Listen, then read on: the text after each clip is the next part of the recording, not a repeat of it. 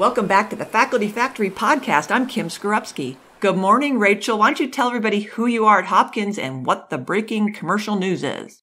Thanks, Kim, and thanks for having me back on the podcast. I'm super excited to be here. So I am the Associate Dean for Faculty Educational Development in the School of Medicine. And of course, that's how we know each other and work closely together. And my primary role is to really build master educators to enhance education more broadly. And I'm excited to tell you about a new program that we have developed.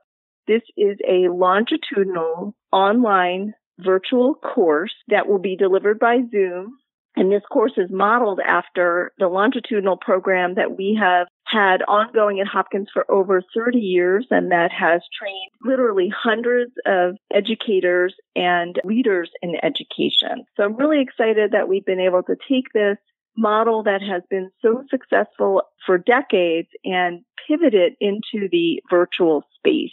What we're hoping is that this will be then available to more faculty from across the country and that we'll maintain this really special component about this course and that it's longitudinal. So we'll be meeting together every two weeks for two and a half hours for 10 sessions and that will meet in small learning communities of no more than five to six participants. That way we can really focus on building skills by working through our own kind of teaching and learning challenges in the context of the content for each session. Wow. So again, those of you heard this right. 30 years here at Hopkins, hundreds and hundreds and hundreds of faculty participants now open to everyone across the country. Rachel, you said every two weeks for two and a half hours, 10 times. Is that right? That's right. So 25 hours total of coursework together in these small learning communities where we can really kind of focus on using skills of facilitation and dialogue and shared reflection to really kind of dive deep into some core teaching and learning concepts. So tell, you know, everybody the, what the, the objectives are and what will they leave the program being able to do? Yeah, so this program will bring together educators from all different settings. So you can, you know, you could be an anesthesiologist, you could be a basic science educator, you could do predominantly outpatient medicine or inpatient medicine. So we really expect a diverse group of participants and it's an opportunity for participants to really reflect on teaching, practice skills, and learn instructional methods and strategies in this very supportive and collaborative learning environment. And so we will be focusing on these very interactive small group sessions where we'll use reflective practice both individually and shared. We'll have opportunities for simulation and role play. And the specific content that we cover over these 10 sessions are building a supportive learning community, um, focusing on becoming resilient educators and fostering inclusive learning environments.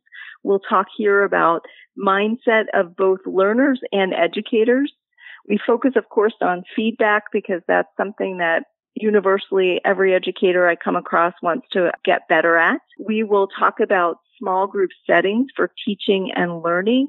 And then we'll have some sessions that are really specifically focused on specific strategies for teachers that we call the teacher's toolbox. So that'll be about how do you design sessions for teaching and learning? We'll talk about the professional, something we call the professionalism of teaching and being an effective role model. We'll talk about clinical teaching, precepting in the clinical setting.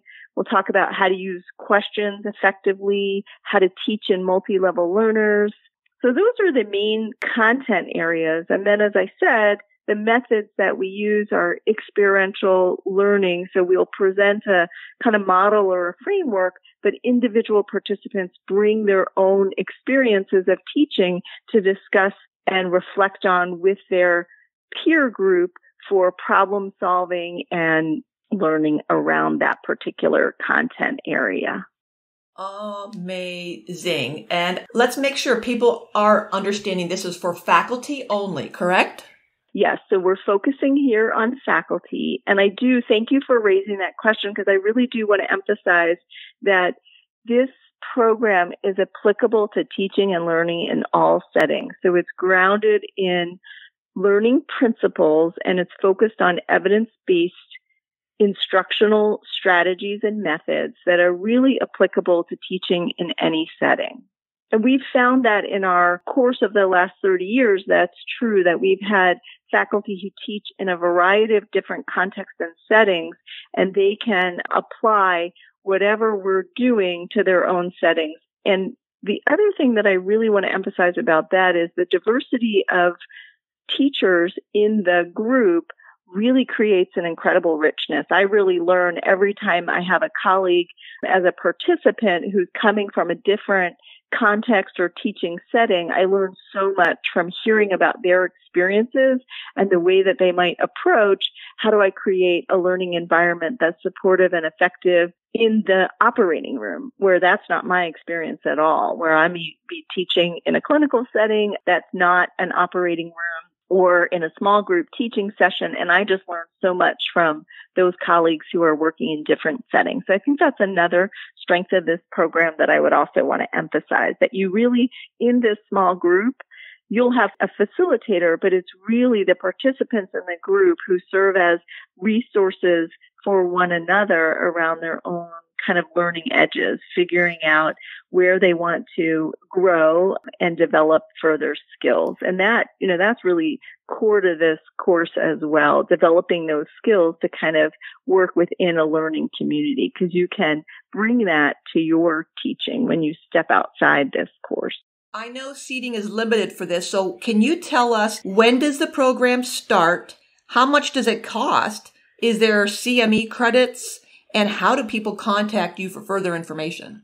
So the course is going to run from February to June.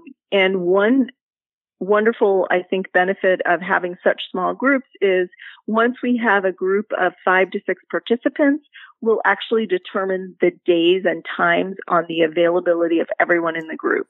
So we have flexibility amongst our facilitators to be able to do that because we really want to maximize participation from our participants. So that's one February to June, 10 sessions about every two weeks, two and a half hours. This is a CME course, and so participants can receive 25 CME credits for 25 hours. The cost is $2,500, which is about $100 per CME credit. And we think that's actually pretty competitive.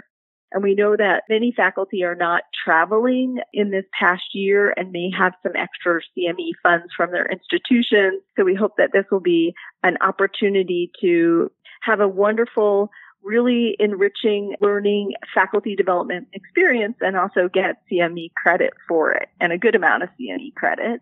And then if anyone is interested in learning more about it, you can email me at rlevine at jhmi.edu. You can check us out on Twitter at jh underscore TSP, Teaching Skills Program. And on Twitter, you'll see also our advertisement for the program. That's at JH underscore T as in teaching, S as in skills, P as in program, JH underscore TSP. And it's R Levine, R L E V I N E at jhmi.edu, right? That's right. I know everyone's going to be excited about this. I hope you have the, the capacity to handle all the crowds, but this is wonderful program. I love how you've tailored it and will tailor the time for the participants. Super innovative. Folks, you're going to love it. Thanks, Dr. Levine. My pleasure. Thanks for having me, Kim, and I love your show. I'm a big fan. Thank you, Rachel. Thanks for tuning in to Faculty Factory Podcast. The mission of the Faculty Factory is to build and support a community of leaders in faculty development who share tools, resources, wisdom, and encouragement in service to our faculty members, schools, and institutions. We encourage you to go to facultyfactory.org to find out more. Get in touch with me, ask me any questions. Maybe you want to be interviewed on the podcast. Thanks for tuning in to Faculty Factory Podcast. We'll see you next time. The Faculty Factory podcast and website is sponsored by the Johns Hopkins University School of Medicine Office of Faculty. For more information, visit facultyfactory.org.